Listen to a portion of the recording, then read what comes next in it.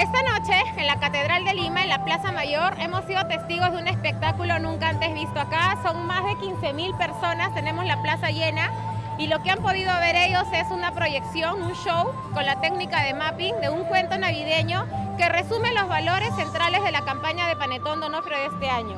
Además, han podido gozar de un coro espectacular, el coro Las Voces del Sol, unos niñitos que cantan bellísimo.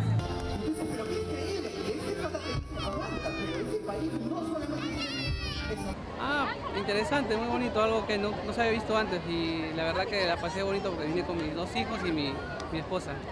Excelente, buena opción ¿ah? para este año. Esperemos que el próximo año se repita.